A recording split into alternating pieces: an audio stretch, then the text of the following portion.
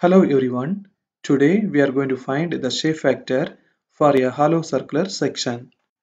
Let us consider a hollow circular section. In this circle, caps D is the outer diameter, the small d is the inner diameter. We know the formula for the shape factor S is equal to Zp by Z. Zp is the plastic modulus, Z is the elastic modulus First, let us calculate the elastic modulus. The formula is I by Y. The formula for moment of inertia in a hollow circle is pi into caps D power 4 minus small d power 4 by 64. This circle section is symmetrical, so the neutral axis lies in the center. From the neutral axis to the fiber, the distance is d by 2 so y is equal to d by 2. In the elastic modulus formula, we can apply the values of moment of inertia and y. We can take d by 2 inversely and multiply. We can cut this 2 and 64. Here we will have 32. Finally, we are getting z is equal to pi by 32 into caps d power 4 minus small d power 4 by caps d now let us calculate the plastic modulus Zp. The formula is A by 2 into y1 bar plus y2 bar. The area formula for a hollow circle is pi into caps d square minus small d square by 4. To calculate y1 bar and y2 bar, we have to split the circle into two parts about the equal area axis. This hollow circle is symmetrical, so the equal area axis lies in the center. We have to split this hollow circle into two parts about the equal area axis, one above the axis, one below the axis. Let us keep the part above the equal area axis as 1 and below the axis as 2 you can see that both of these shapes are same. So y1 bar will be equal to y2 bar. So no need to calculate both of them. We can calculate any one of them. Let's calculate y1 bar. Now let us calculate y1 bar. The formula is a1 y1 minus a2 y2 by a1 minus a2 in this formula we are subtracting because we are having some empty space. Here we are having two half circles, one inner half circle and one outer half circle. For the outer half circle, first let us calculate the area. The formula is pi d square by 4 into 1 by 2. For the whole circle, the formula for area is pi d square by 4. Here we are having half circle that is why we are dividing by 2. Finally, we are getting a1 is equal to pi d square by 8. In the same way, we can calculate the area for the inner half circle. Here we are getting pi small d square by 8. For the outer half circle, the distance of centroid from the equal area axis is 2d by 3 pi so y1 is equal to 2d by 3 pi. For the inner half circle also the formula is same but instead of caps d we have to apply small d. So y2 is equal to 2 small d by 3 pi. In the y1 bar formula we can apply the values of a1, a2, y1 and y2. Finally we will get these we can eliminate this pi and this pi also this pi and this pi. D square into d we will get a d cube.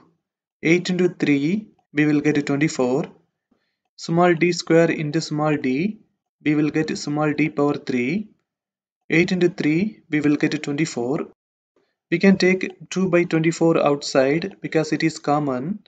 Here we can take pi by 8 outside we can cut this 2 by 24 so we will get 1 by 12 we can take this pi by 8 inversely and then multiply. 2 fours are 8 and 3 fours are 12 finally y1 bar is equal to 2 by 3 pi into caps d cube minus small d cube by caps d square minus small d square we know that y1 bar is equal to y2 bar we have already seen that now we can calculate ZP. Already we know the area pi into caps d square minus small d square by 4 y1 bar and y2 bar just before we have calculated. Let us apply all the values inside the formula. Here both of these values are same. So let us multiply any one of the value with 2 2 into 2 we will get 4 then we can eliminate these two values.